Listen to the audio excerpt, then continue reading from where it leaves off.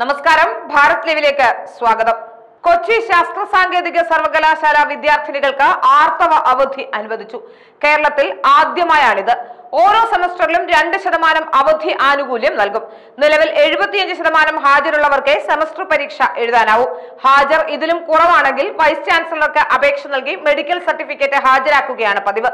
എന്നാൽ ആർത്തവ അവധിക്ക് മെഡിക്കൽ സർട്ടിഫിക്കറ്റ് വേണ്ട. ഇനി അപേക്ഷ മാത്രം നൽകിയാൽ മതി. വിദ്യാർത്ഥിനികൾക്ക് അറുപത് ദിവസം പ്രസവാവധി അനുവദിക്കാൻ എം ജി സർവകലാശാല കഴിഞ്ഞ മാസം തീരുമാനിച്ചിരുന്നു. ആർത്തവ ദിവസങ്ങളിൽ അവധി ആവശ്യപ്പെട്ട് സുപ്രീം കോടതിയിൽ അടുത്തിടെ പൊതു താൽപര്യ ഹർജിയും സമർപ്പിക്കപ്പെട്ടിരുന്നു. അഭിഭാഷകയായി അഭിഭാഷകയായ ശൈലേന്ദ്രമണി ത്രിപാഠിയാണ്. വിദ്യാർത്ഥിനികൾക്കും ജോലി ചെയ്യുന്ന സ്ത്രീകൾക്കും ആർത്തവ അവധി നൽകണമെന്ന് ആവശ്യപ്പെട്ട് ഹർജി നൽകിയത്. ആർത്തവ വേദനയെ എല്ലാവരും അവഗണിച്ചിരിക്കുകയാണെന്നും ആർത്തവ സമയത്ത് അവധി നിഷേധിക്കുന്നത് ഭരണഘടനയുടെ പതിനാലാം അനുച്ഛേദത്തിന്റെ ലംഘനമാണെന്നും ഹർജിയിൽ ചൂണ്ടിക്കാട്ടുന്നു.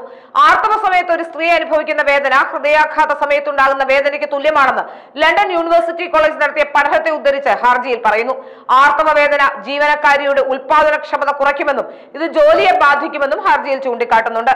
ഇന്ത്യൻ കമ്പനികളായ സൊമാറ്റോ ബൈജു സിഗി മാക്സ്റ്റർ ഇൻഡസ്ട്രി എ ആർ സി ഫ്ലൈമൈബീസ് ഗോസൂപ്പ് എന്നീ രാജ്യത്തെ ഒരു കൂട്ടം സ്ഥാപനങ്ങൾ ശമ്പളത്തോടു കൂടിയുള്ള ആർത്തവ അവധി സ്ത്രീകൾക്ക് നൽകുന്നുണ്ടെന്നും ഹർജിയിൽ വ്യക്തമാക്കുന്നുണ്ട്. ആർത്തവ അവധി നൽകുന്ന ഇന്ത്യയിലെ ഏക സംസ്ഥാനവും ബീഹാറാണ്.